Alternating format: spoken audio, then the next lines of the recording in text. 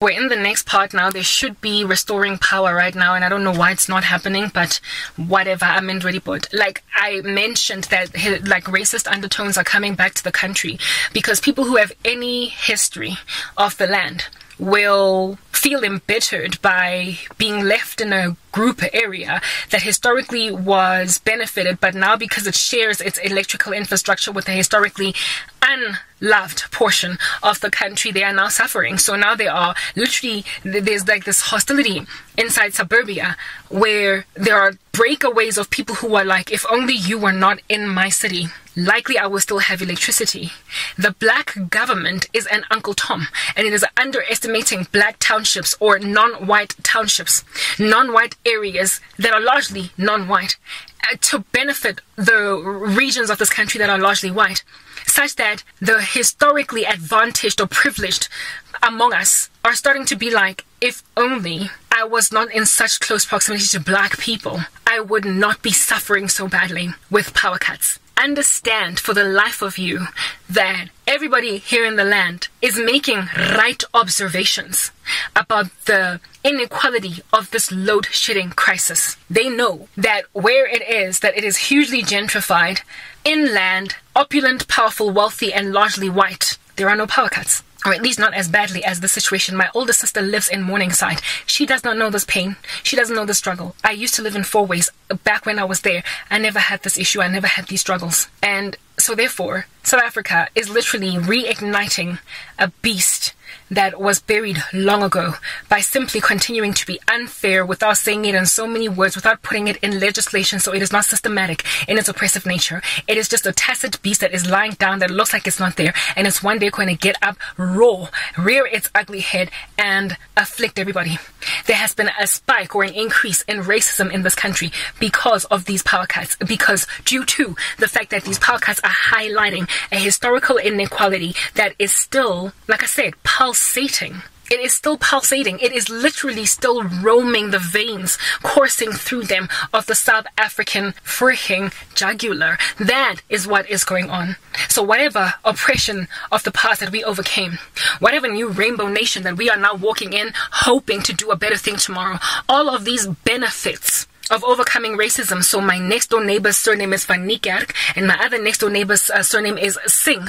My other next door neighbor's surname is Morgan, and my other next door neighbor's surname is Mazibuko. The other one's surname is like, you know, Shabalala.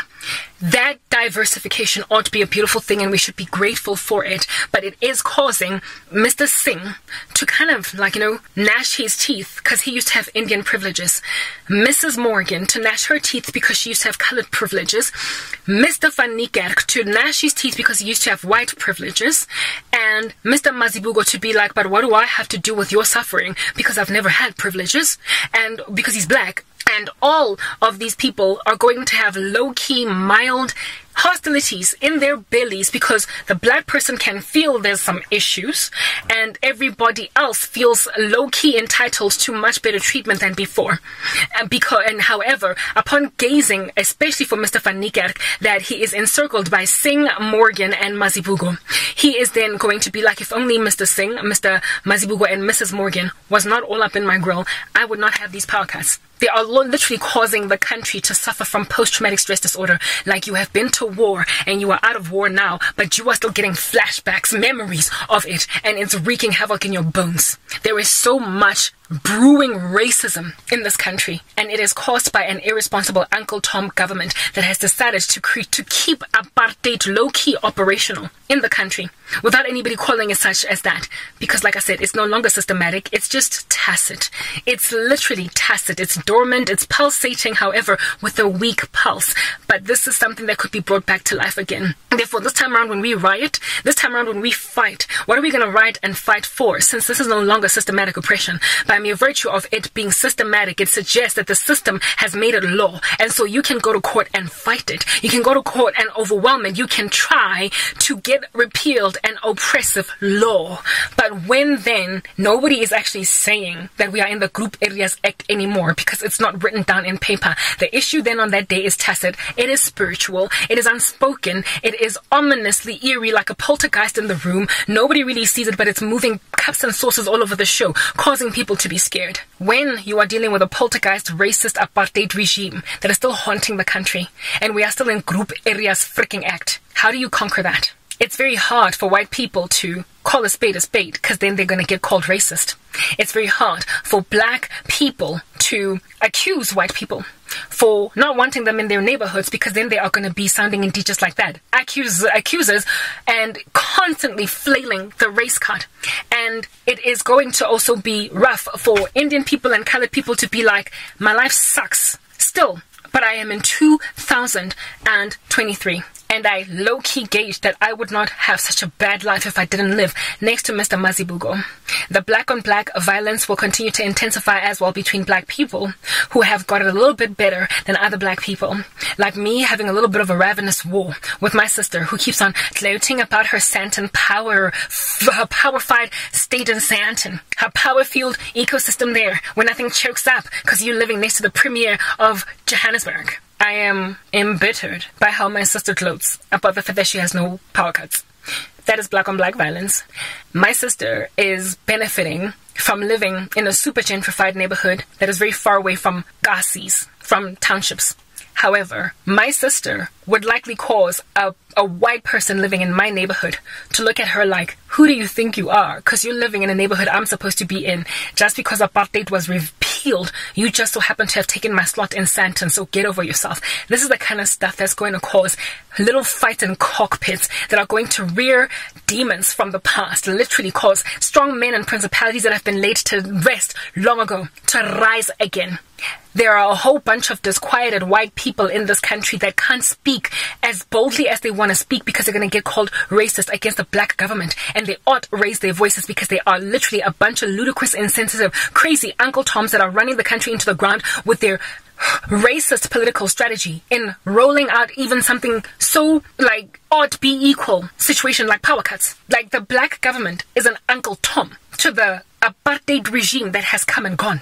And if white people raise that, they're going to get called kind of unhealed and unrecovered and unrehabilitated from their like forefathers' folly. And so they literally have to just keep quiet, shut up, and say nothing. Black people who complain in the previously black only areas like from Soweto or whatever or Alex they just get ignored.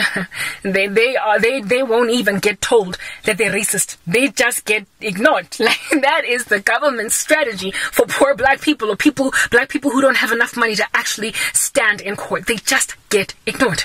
And then everybody else is just like mm, mm, our government cannot get accused of being racist against black people and against white people against because they're black like you know fleeing from accountability because of your skin color. There we go. Power came back. There you go. That's a street light that you're looking at. So i guess it's time to go in the house and take a shower and eat dinner and be good. And I hope that this is my last part, the, or my second last part. The, the black government cannot be accused, like really, that's the word, of being exactly what they are in Uncle Tom. Because based on where it is that this accusation is coming from, they will either write off the accuser as racist or, what are you talking about, but I'm black? Based on the directionality of where that accusation is coming from. That is the travesty of what's going on in South Africa. We overcome one strong man, and then there is another silly little namby-pamby strong man that we can't even give a name or a title that is doing the exact same thing as the former strong man, resuscitating that gangster, putting a defibrillator on his dead heart and making him run the show, but this time we don't have a right to recourse because the moment we call them out for what they are or who they are, they claim that we are calling them racist when they're black, but I'm black, I can't be racist. That is my country. Final part.